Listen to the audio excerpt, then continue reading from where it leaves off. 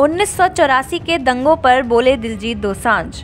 दिलजीत ने कहा, उन्नीस सौ चौरासी में दंगे नहीं, हुआ था नरसंहार। उन्होंने कहा, जब लोगों के बीच दो तरफा लड़ाई होती है तो यह दंगा होता है।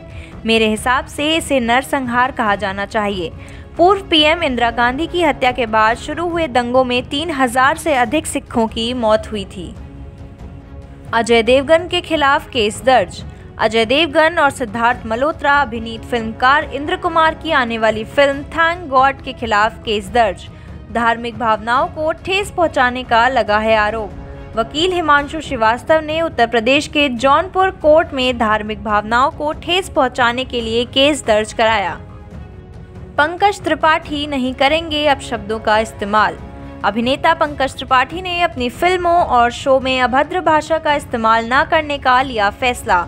उन्होंने कहा, जी, मैंने तय कर लिया है कि मेरे जो भी किरदार होंगे, अति आवश्यक होने पर ही मैं इन्हें रचनात्मक तरह से पेश करूँगा।